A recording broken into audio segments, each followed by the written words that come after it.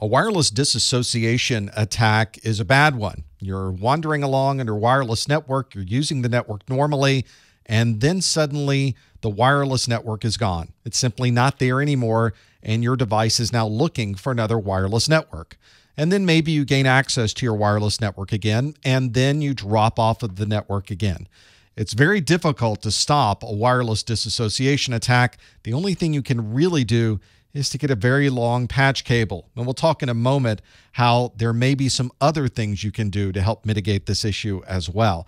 This is obviously a very significant denial of service attack, and in the right situation, someone can keep you off the wireless network indefinitely. So, how is your system suddenly removing itself from the wireless network?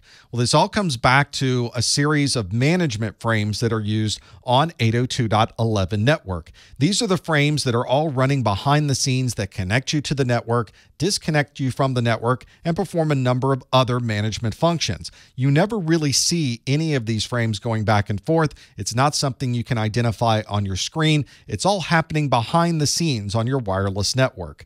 These management frames are important for the overall operation of your wireless network. You wouldn't be able to use a wireless network without these frames. They're used to help find an access point, connect to an access point, configure quality of service configurations, and many other requirements to be able to operate on that wireless network.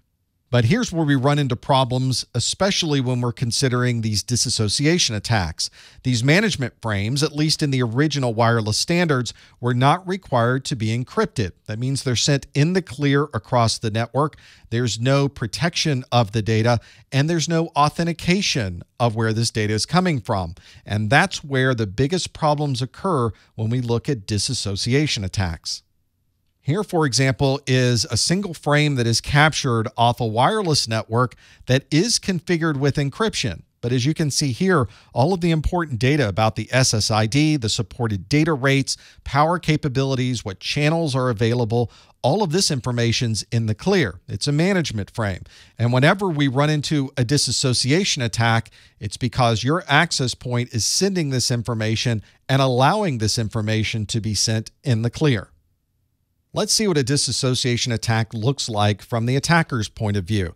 If we look at my phone, I'm on a wireless network and we can see that my Wi Fi address ends in 2E Fox Delta. So it should be relatively easy to see this on a packet capture, which is exactly what we're going to do. We're going to run Airodump, which is going to capture information from the wireless network, and it will show me the communication between the wireless access points and the other devices on this network.